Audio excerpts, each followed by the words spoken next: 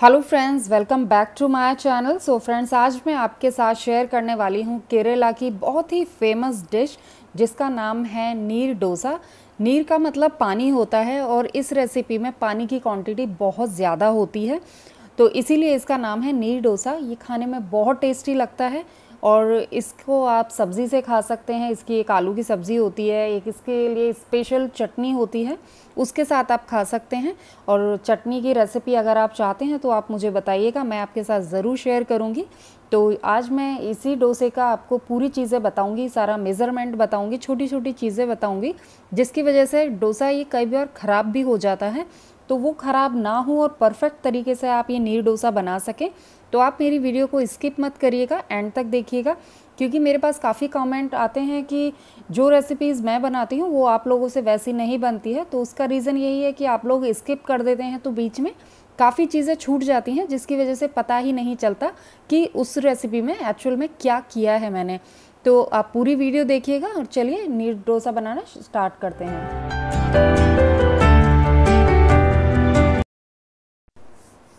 So friends नीर डोसा बनाने के लिए हम लेंगे चावल ये मैंने एक कप चावल लिए हैं एक 240 ग्राम ये चावल हैं आप कोई भी चावल ले सकते हैं जो भी आप यूज़ करते हैं इसको अब मैं एक बाउल में ट्रांसफ़र कर लूँगी और इनको अच्छी तरह से मैं वॉश करूँगी दो तीन बार आप इसे वॉश कर लीजिएगा ये देखिए और अब हम इसको चार से पाँच घंटे के लिए रख देंगे और ये देखिए चार से पाँच घंटे के बाद हमारे चावल काफ़ी अच्छे से फूल गए हैं और ये नेल से अगर आप तोड़ेंगे तो बहुत ही आसानी से ये टूट जाएँगे। इसका मतलब ये है कि ये बिल्कुल परफेक्ट तरीके से भीग चुके हैं। पानी हमने इसका निकाल दिया है। अब हम इसे मिक्सर ग्राइंडर में ग्राइंड कर लेंगे। तो ये राइस मैं मिक्सर ग्राइंडर में डाल दूँगी। और ये देखिए, यहाँ पे मैं थोड़ा यूज़ करूँगी कोकोनट। तो अगर आप चाहें तो फ्रेश नारियल जो आता है वो भी ले सकते हैं। वो नहीं है तो घर में जो होता है नारियल, वो आप यूज़ कर सकते हैं। थोड़ी देर के लिए गर्म पानी में भिगो दीजिएगा और उसका ब्लैक पार्ट रिमूव कर दीजिएगा। और अब हम इसे ग्राइंड कर लेते हैं। सो ये देखिए, काफ़ी अच्छा पेस्ट हो चुका है, बन चुका है और इसमें थोड़ा पानी भी डाल दीजिएगा। जब आप इसको ग्राइंड करेंगे, उस वक्त आप इसमें पानी भी ऐड कर दीजिए थोड़ा सा। और ये देखिए काफ़ी ये आ, मतलब काफ़ी कह सकते हैं सॉफ्ट है एक तरीके से। ये बहुत ज़्यादा थिक नहीं है बहुत इसी तरह से हमें बैटर बहुत पतला चाहिए। और मिक्सर जार का भी हमने इसमें पानी डाल दिया है। ये देखिए इसकी कंसिस्टेंसी कैसी है। बिल्कुल पानी की तरह है ये। अभी इसमें मैं और पानी डाल रही हूँ और इसको मिक्स कर लेंगे। अब हम आते हैं पैन पे। तो ये देखिए मैंने नॉन स्टिकी पैन लिया है और गैस मैं ऑन कर देती हूँ। आप नॉन स्टिकी पैन में ही बनाइएगा, क्योंकि किसी और पैन में बनाएँगे तो ये जल जाएगा या फिर ये चिपक जाएगा बुरी तरह से। यहाँ पे आप टेस्ट के अकॉर्डिंग नमक ले लीजिएगा और इसको मिक्स कर लीजिए। और ये देखिए बैटर हमारा बिल्कुल रेडी है।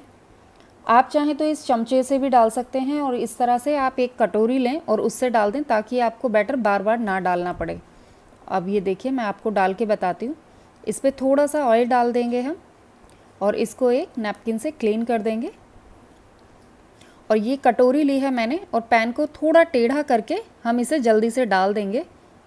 तो ये देखिए, इसमें जाली हो, बन गई है और इसको चारों तरफ़ से हम घुमा देंगे ताकि जो एक्स्ट्रा बैटर है वो चारों तरफ़ चिपक जाए अच्छी तरह से।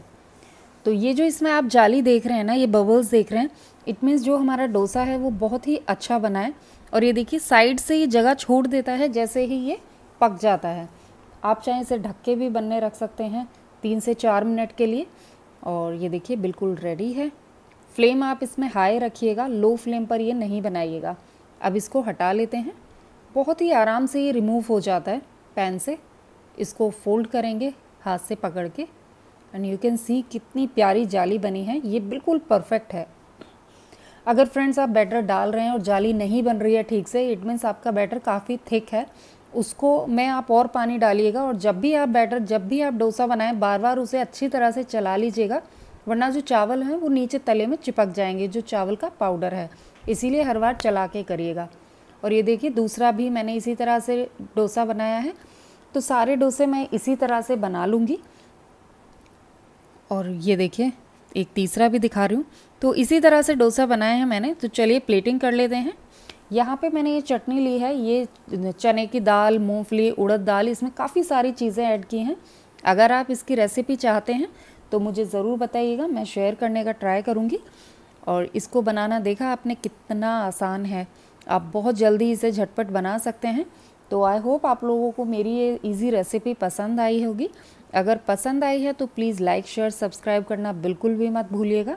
आप मेरे चैनल पे फ़र्स्ट टाइम आए हैं तो मेरे चैनल को सब्सक्राइब करके बेल का बटन भी प्रेस करिएगा ताकि आपको मेरी आने वाली सभी वीडियोस के नोटिफिकेशंस सबसे पहले मिल सके। आप किसी और, किस तरह की रेसिपी चाहते हैं, आप मुझे ज़रूर बताइएगा, मैं ट्राई करूँगी बनाने का। इसी तरह की न्यू रेसिपी के साथ में मैं आपसे बहुत जल्द मिलूँगी। जब तक आप मेरी वीडियोस को देखते रहिए लाइक करते रहिए और इन्जॉय करिए तो मैं बहुत जल्द मिलती हूँ। जब तक ले take care and bye bye.